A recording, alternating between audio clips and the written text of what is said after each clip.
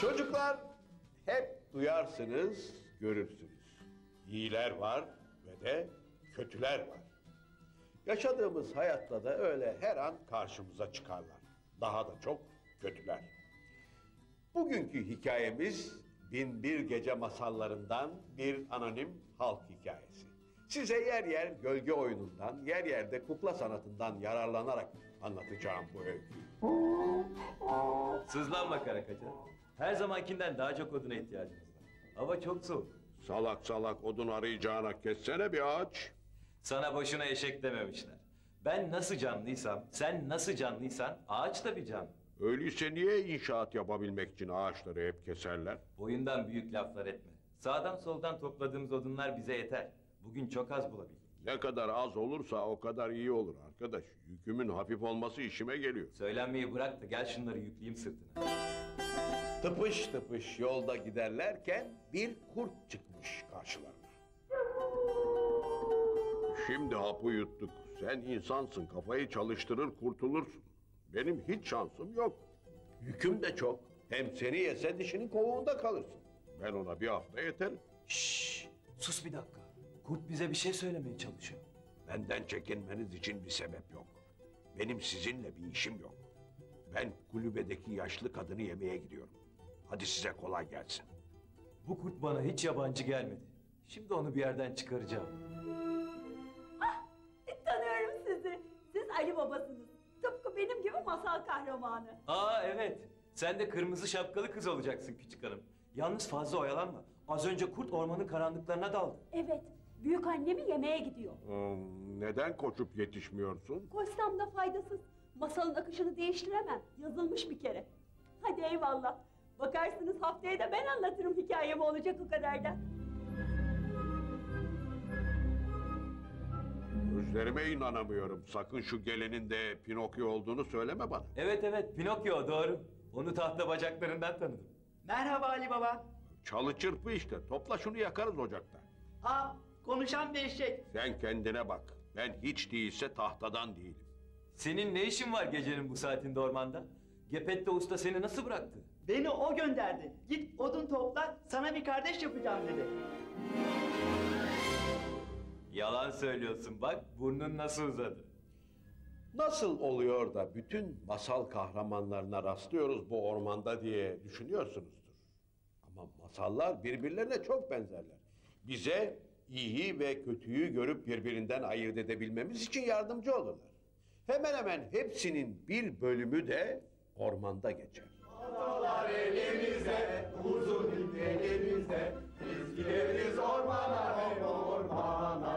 Bak kara kaçan bunlar da Pamuk Prenses'le yedi cüceler.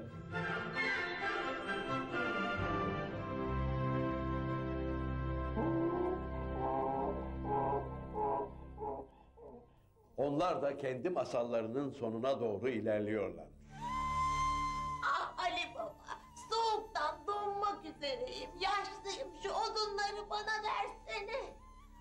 Bu odunları sana verirsem çoluk çocuk biz üşüyeceğiz. Ama olsun. İyilik yapabilmek için insanın karşısına her zaman böyle fırsatlar çıkmıyor. Odunlar senindir. İyi adam karşılık beklemeden vermesini bilendir. Ne? Bir şey mi söylediniz?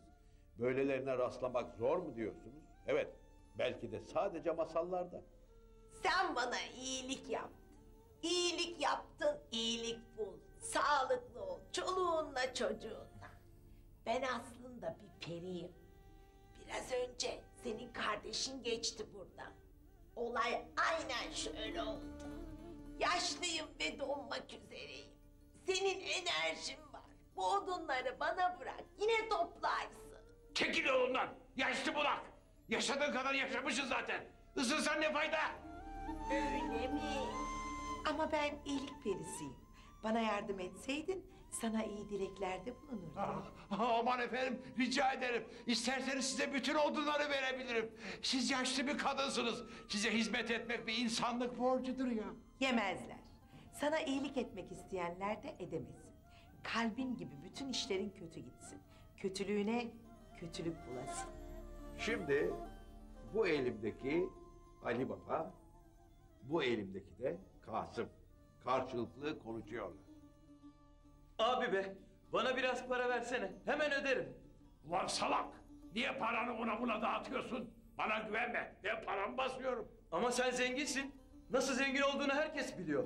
Benim paramın hesabını sen mi bileceksin? Hadi sen yolla ben yoluma. Tamam Kasım. Nasıl istersen öyle olsun.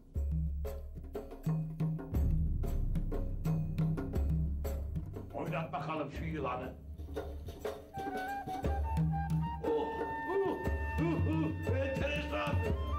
Sen nesin?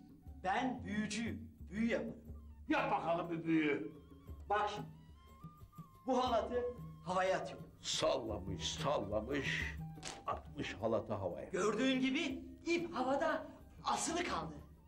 Oh, oh, enteresan. Dahası bu havada asılı kalan ipe tırmanacağım. Ah, ah,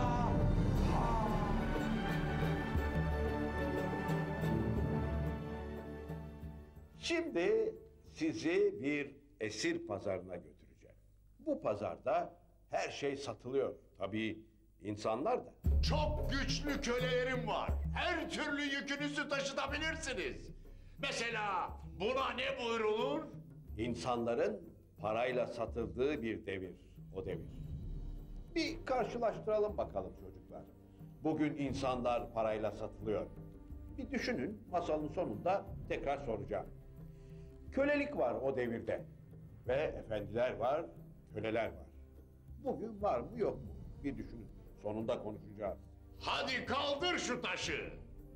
Kaldır. Sana ne diyorsam onu yap.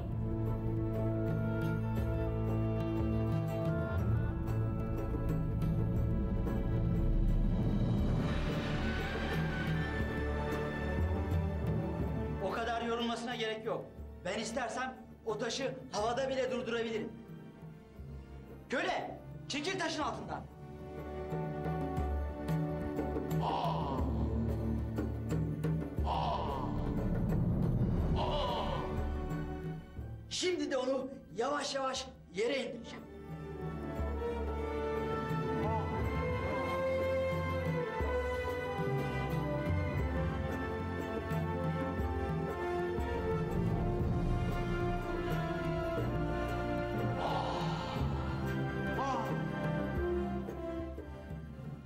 Çocuklar sakın bu numaralara kanmayın. Sihir gibi, büyü gibi şeylere inanmayın. Biz masala gereken lezzeti verebilmek için film hilelerine başvuruyoruz. Sonra size de nasıl yaptığımızı açıklayacağım. İstersen seni uçan alıma bindirebilirim. Ha, ha, ha. Hatta Binmişler halıya ve oradan uzaklaşmışlar.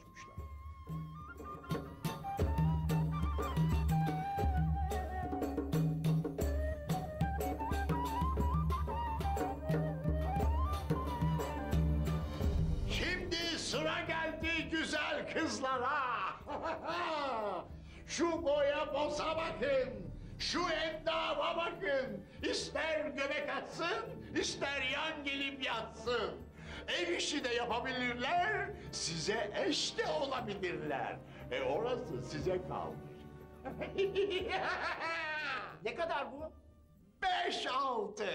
Tamam, alıyorum. Al götür kızı, getir altınları. Şu dişlere bakın, şu kalçalara bakın. Efendilere sırıtsana biraz. Böyle esir kızı dünyanın hiçbir yerinde bulamazsınız. Şimdi size yılan dansı yapacak.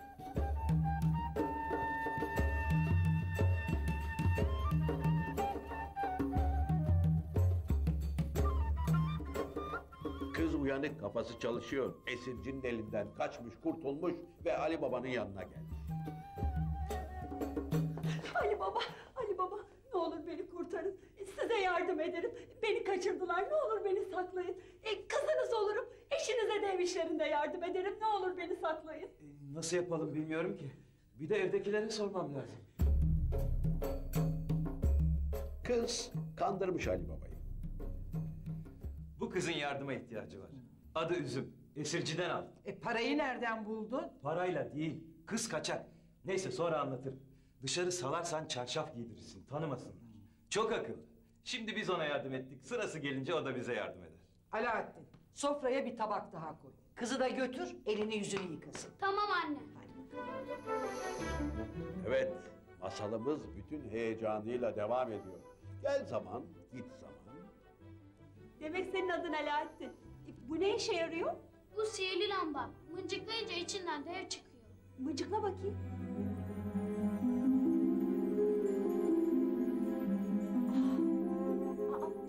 Ne işe yarıyor? Sen ne işe yarıyorsun? Hiçbir işe. Okumadım, gereken eğitimi almadım. Lambaya girer çıkar dururum. Ben seni okuturum. Allah sizden razı olsun. Sayende masallarda sürünmekten kurtulurum. Hadi sok şunu yerine.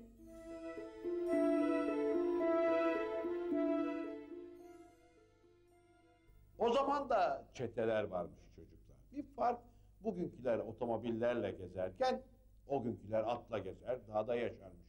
Bugünküler şehirde yaşar, parayı ihaleyle alır. O günküler soygun yapar, kelle koparır. Bugün de 40 kişiler birbirlerini bilirler. O günde 40 haramiler, bir de başları var. 41 kere maşallah. Hah işte bir odun parçası daha. Lan sesleri de ne oldu ki?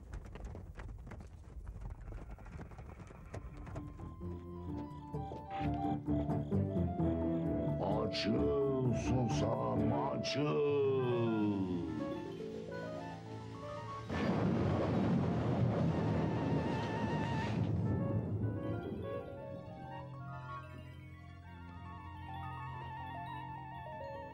Güzel. Her şey yerli yerinde. Hadi gidelim. Yeni hazineler getirelim. Harami başı atından inmiş, mağaranın önüne gelmiş ve bağırmış. Açıl susam açıl. Kayalar büyük bir gürültüyle açılmışlar ve harami başı mağaraya girmiş. İçerisi kapalı çarşıdaki kuyumcu dükkanları gibiymiş. Altınlar, elmaslar, kıymetli taşlar.